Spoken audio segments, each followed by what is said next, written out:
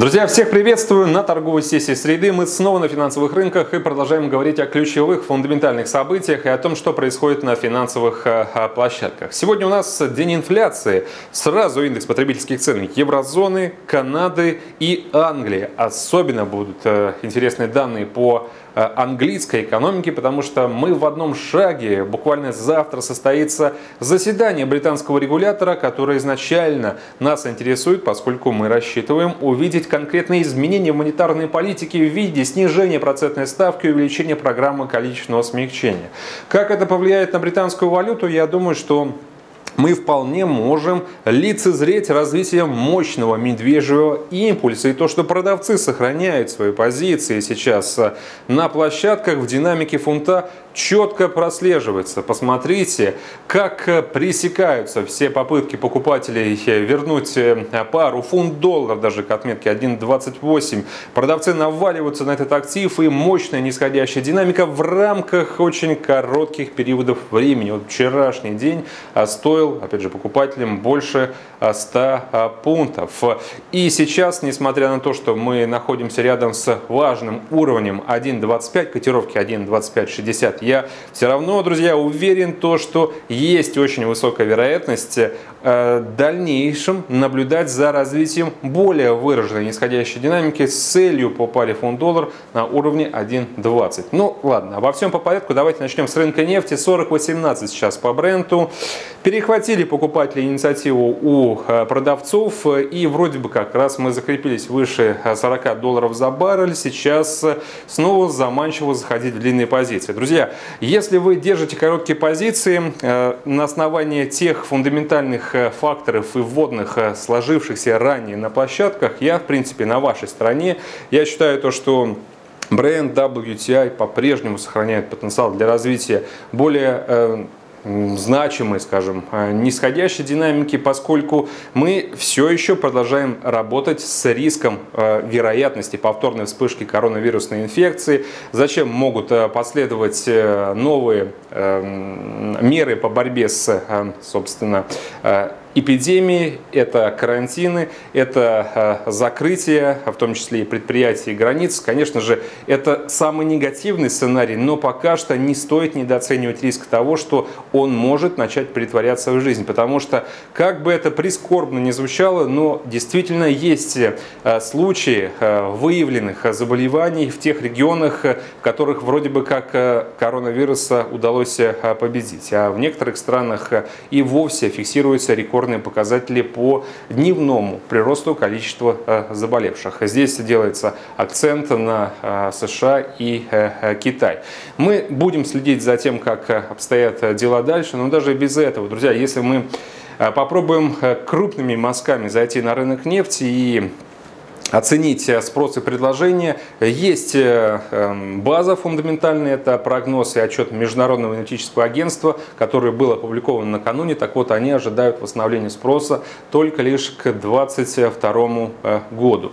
Вчера вышел отчет по запасам от Американского института нефти. Запасы выросли на 3,8 миллиона, и мы, друзья, по традиции ждем прироста и статистики со знаком плюс и от администрации энергетической информации. Сегодня в 17.30 выйдет этот э, релиз. На прошлой неделе данные по запасам смогли оказать э, поддержку э, продавцам. Я допускаю, что нечто подобное может произойти и сейчас. Поэтому я на стороне, друзья, тех, кто сейчас нефтянку продает, но в то же время отмечу, что мне больше интересно сейчас отыгрывать потенциал снижения цен на нефть через канадский доллар. И наверняка вы знаете, что я пару доллар канадец покупаю. Сейчас котировки 1.35 35-34 делаю это не только потому, что верю в снижение цен на нефть, но и еще очень неплохо складывается э, фундамент по доллару, если, опять же, вспомнить вчерашние данные по розничным продажам и вычленить из общих заявлений Паула в э, банковском, перед банковским э, комитетом отдельные заявления о том, что восстановление американской экономики уже идет полным ходом. Из других активов евро против доллара 1.1269, 9. Сегодня данные по инфляции выйдут. В принципе, мы рассчитываем и знаем точно, что инфляция э, будет э, оставаться э, под давлением. Это из-за все-таки последнего обвала цен на нефть есть довольно растянутый временной лаг, который бьет по основной индикации инфляции. Э, это временной лаг может длиться полгода со времени последнего спада цен на энергоносители. И то, что сейчас индекс потребительских цен находится в районе нулевой отметки по еврозоне, э, это тому доказательство. Ну и кроме того, базовые значения тоже сейчас находятся на низких э, уровнях. Это следствие того, что потребительская активность в еврозоне по-прежнему оставляет желать лучшего. Я европейской валютой сейчас не торгую, друзья, но если вас интересует все-таки, что может произойти с евро против доллара. Здесь э, можно посматривать на индикатор рыночных настроений. И э, несмотря на распродажи европейской валюты накануне и в принципе сохраняющейся волатильности, по-прежнему перекос на стороне тех, кто делает э, ставку на сел. И перекос по Кайману довольно существенный. Сейчас 75% сидят в шортах и 25% в покупках. Это как минимум указывает на то, что есть еще вероятность того, что евро-доллар может сходить выше. Я предпочитаю сейчас работать с другим, не менее интересным рисковым инструментом в, скажем, вот этом дуплете евро-доллар и фунт-доллар. А фунт против американца.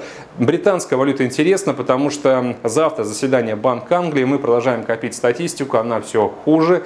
Начиная с пятничных данных по ВВП, промышленному производству, вчера вышел отчет по рынку труда заявки на пособие по безработице э, обратились, э, подали их э, более чем полмиллиона человек. Это практически в два раза выше прогноза. Темпы роста заработных плат продолжают снижаться. Сегодня инфляция, которая также разочарует, уверен, то, что общий индекс потребительских цен окажется хуже, чем значение прошлого месяца. И завтра у британского регулятора будет все, чтобы снизить ставку и увеличить программу количественного смягчения. Насколько Сколько, друзья? Я думаю, что решение будет варьироваться в диапазоне от 100 до 200 миллиардов э, фунтов э, дополнительно в год. И если это решение будет анонсировано, британская э, валюта может стать рекордсменом по падению в рамках этой недели. Моя среднесрочная цель по паре фунт-доллар отметка 1.20. Индекс доллара 96-92, как и в прошлую среду, когда благодаря риторике Паула покупателей смогли удержать в американской валюте. То же самое произошло и э, вчера. Пауэлл выступил перед банковским комитетом э, Сената и отметил то, что американская экономика начала восстановление. Вся его речь опиралась на сильнейший релиз по розничным продажам. Розничные продажи, как э, показали статистики, вчера выросли на 17,7% с спада в прошлом месяце, точнее в позапрошлом, на 14,7%. Рекордный прирост по рознице. Оздоровление потребительской активности – это вклад в будущие э, темпы экономического роста и э, восстановления. Также Паул отметил, что эм, у э, Федрезерва сейчас нету ровным счетом никаких опасений э, за то, что решение американского регулятора э, продолжать накачивать экономику ликвидностью могут привести к росту инфляции. В принципе, он развеял все опасения, которые присутствовали. Есть, точнее, нет причин бояться за инфляцию, экономика восстанавливается, это видно в основных макроэкономических показателях. Поэтому трейдеры, которые, может быть, на какой-то негативной риторики готовы были уже активно сбрасывать э, американскую валюту, индекс доллара, пересмотрели свою позицию, и мы, друзья, э, остаемся выше отметки 96 пунктов. Цель по индексу доллара выше 98, и пока все так вот неплохо складывается, давайте держать длинную позицию, и тем более, что сегодня еще у нас будет возможность снова послушать Паула, уж не знаю, будет ли э, второй день его выступление значимым для финансовых рынков, но все же думаю, что недооценивать его риторику не стоит. Выступление назначено на 19.00 по московскому времени. Друзья, на этом, собственно, все. Большое всем спасибо за внимание. Хорошей вам торговой сессии. Увидимся завтра.